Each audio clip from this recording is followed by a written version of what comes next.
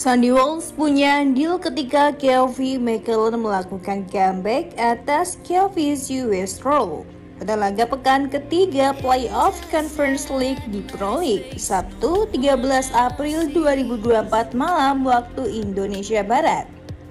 Dimainkan pada awal babak kedua, Sandy Walsh membantu Kelvin McCallum meraih 3 poin.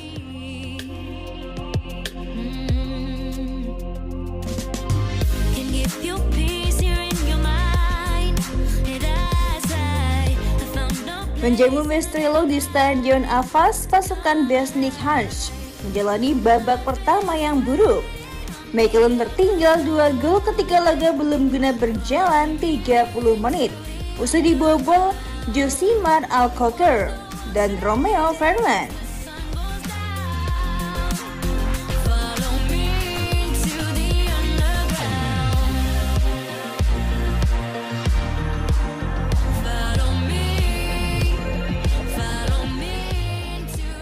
Lantas sebuah momen penting terjadi pada menit ke-45 Firma mendapatkan kartu merah dan harus mengakhiri laga lebih cepat.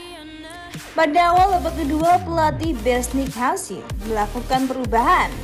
Tiga pemain dimainkan yakni Bilal Bakili, Nicholas Strong, dan Sunny Walsh.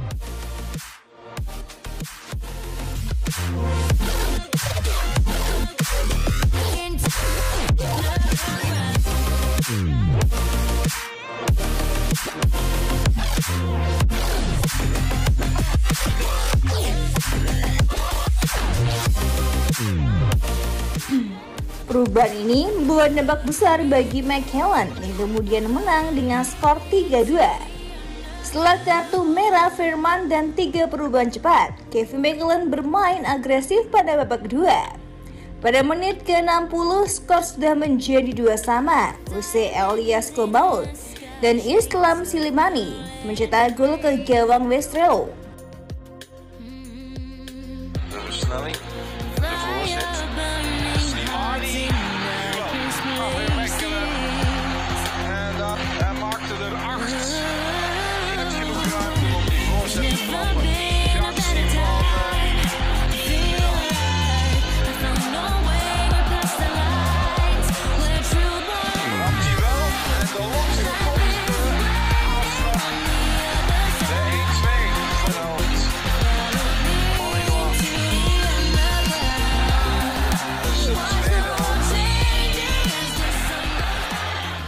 Pada pertandingan itu diwarnai banyak drama, termasuk drama yang menyangkut pemain bertahan Garuda, Sandy Walsh.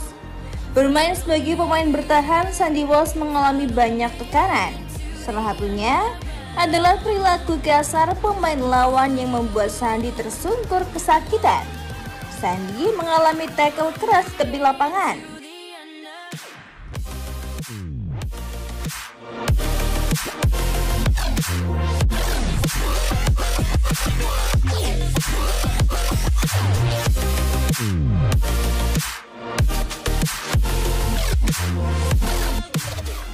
Laga seperti akan berakhir dengan skor 2 sama.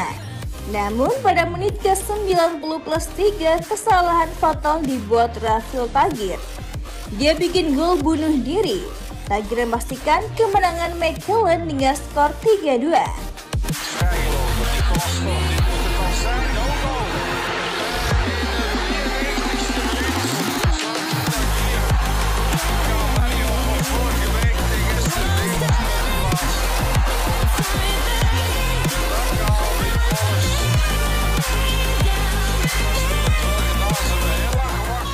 Hasil ini membuat Kevin McGill membuka peluang untuk bermain di Conference League pada musim 2024-2025 nanti.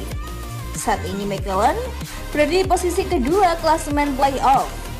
Mereka tertinggal satu poin dari KEE dan Toys yang belum memainkan laga pekan ini.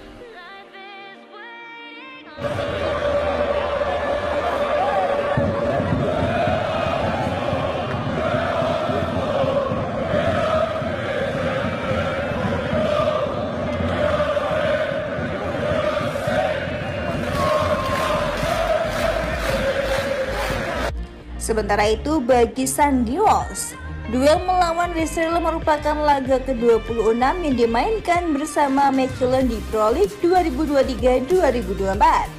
Pemain timnas Indonesia itu telah memainkan satu laga lebih banyak dibanding musim lalu.